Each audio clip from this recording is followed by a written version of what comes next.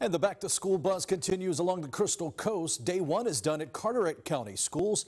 More than 8,000 students walking into their new classrooms this morning.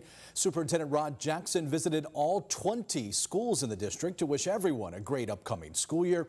Jackson says there's a lot of first for some of these students as the COVID pandemic declines.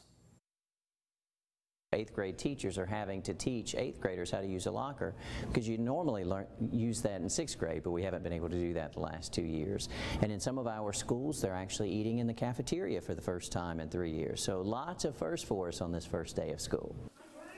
And another great addition, new school resource officers in every elementary, middle, and high school in the district.